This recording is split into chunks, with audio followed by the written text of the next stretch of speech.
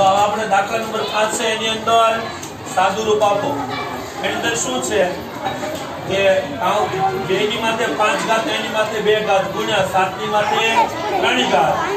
છેદમાં 8 ની માથે 3 ઘાત ગુણ્યા 7 હવે આ જો કાઉન્સ છે, એટલે આનો ગુણાકાર થશે હા. એટલે 5 દુ ને કેટલા થઈ ગયા? 10 એટલે 2 ની માથે કેટલી ઘાત? 10 ઘાત. 7 ની માથે 3 ઘાત. બરાબર? 8 એટલે 8 એટલે કેટલા થાય? બે વખત કેટલી વખત આવે? ત્રણ વખત. તો 2 ની ત્રણ ઘાત થાય? તો આઠ ને હું બે ની ત્રણ ઘાત આવું લખું તો હાલે? હા. હું કામ? કારણ કે આઠ બરાબર આઠ છે.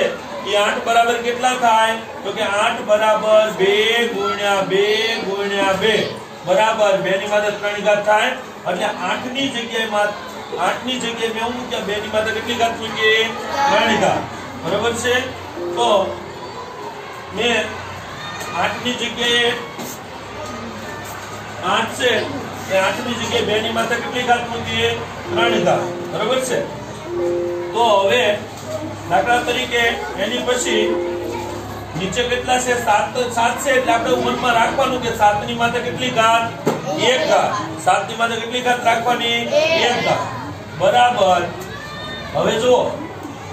આ બે ની માથે કેટલી ઘાત છે? ત્રણ ઘાત. અને ઉપર એ પાછી ત્રણ ઘાત છે, એટલે ત્રણ ઘાત પાછી આપણે શું કરવાની? એ તો ઓલરેડી છે એટલે મૂકવાની.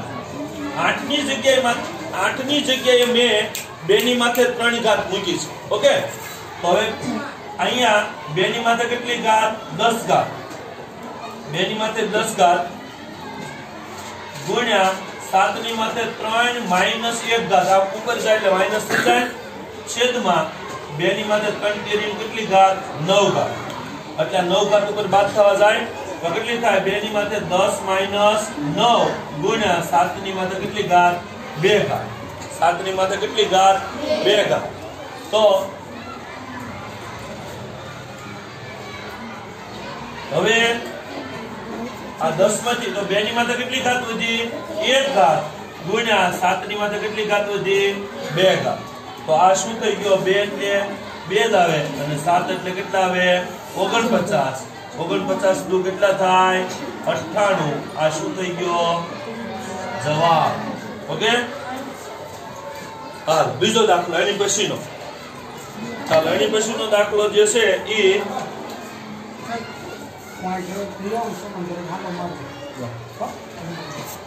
હવે એની પછી બીજો દાખલો કયો છે? પચીસ ગુણ્યા પાંચની બે ઘાત ગુણ્યા તીન આઠ ઘાત. આઠ ઘાત. બરાબર છે? હવે અને હજી આપણે એક વધારેમાં લખી નાખી બે ની છ ઘાત. છેદમાં દસની ત્રણ ઘાત ગુણ્યા ચાર ચાર ઘાત. કેટલી ઘાત? ટી ની કેટલી ઘાત? ચાર. ઘાત. બરાબર? આવી રીતનો આપણને એક દાખલો આપેલો છે. માની લો. ટી ચાર ઘાત. તો આપણને ખબર હોય છે 25 એટલે કોણ થાય? પાંચની બે ઘાત થાય, કારણ કે પચો પચો 25 5 ગુણ્યા 5 5 ની કેટલી ઘાત? બે ઘાત. પછી ટી ની કેટલી ઘાત? આઠ. બે ની કેટલી ઘાત? છ. આ દસ છે, એની જગ્યાએ હું બે ગુણ્યા પાંચ લખી શકું? હા, કારણ કે પાંચ દો 10 તો કેટલી ઘાત? ત્રણ. અને અહીંયા ત્રણ. હું કામ દસની માથે કેટલી ઘાત છે? ત્રણ છે. તો આ જે મેં લખ્યું છે, આ બે ગુણ્યા પાંચ એ કોની જગ્યાએ લખ્યું છે મેં? આ દસ એટલે બે ગુણ્યા મેં શું કર્યા છે? પાંચ. બે ગુણ્યા પાંચ છે. બે ગુણ્યા બે ગુણ્યા પાંચ છે. બરોબર? તો દસ એટલે બે ગુણ્યા પાંચ. છે ઓકે? બે ગુણ્યા પાંચ. દસની જગ્યાએ મેં મૂકેલું છે. બે તો એની જગ્યાએ મેં મૂકેલા છે. અહીંયા ટી ની માથે કેટલી ઘાત છે? ટી જે છે એ ટી ની માથે કેટલી ઘાત છે? ચાર ઘાત. ટી ની માથે કેટલી ઘાત? ચાર. ઘાત. તો પાંચની માથે ટોટલ કેટલી ઘાત થાય? ચાર ઘાત થઈ ભાઈ જો હલી ગયો. હું કેતો તો ની એટલે હલે ગુણ્યા ટી ની માથે કેટલી ઘાત? આઠ ઘાત. બે ની માથે કેટલી ઘાત થાય? છ અહીંયા બે ની માથે કેટલી ઘાત થાય? ત્રણ. હવે એને બાદ બાકી સીધી કરી કીધું આપણે ચાલો.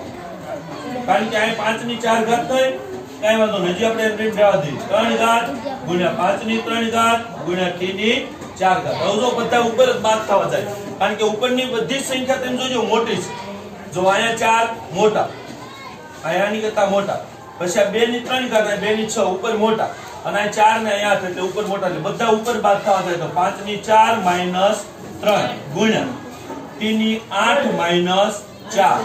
અને ગુણ્યા બે ની છ માઇનસ ત્રણ. તો પાંચની માથે કેટલી ઘાત વધી? એક ઘાત. એટલે પાંચ વધ્યા બે ની માતા કેટલી ઘાત વધી? ચાર. એટલે બે ની કેટલી ઘાત? ત્રણ ઘાત. ચાર ને વધી. બાદબાકી કરતા શીખો. બે ની કેટલી ઘાત વધી? ત્રણ ઘાત. અને ગુણ્યા ટી ની કેટલી ઘાત વધી? ચાર. ટી ની ચાર ઘાત વધી. ચાલો હવે આ સાદુરૂપ આમ તો આવી ગયો છો. તમારે સાદુરૂપ આપવું તો તમે થોડુંક આગળ આપી શકો. બાકી આ શું આવી ગયો? આન્સર.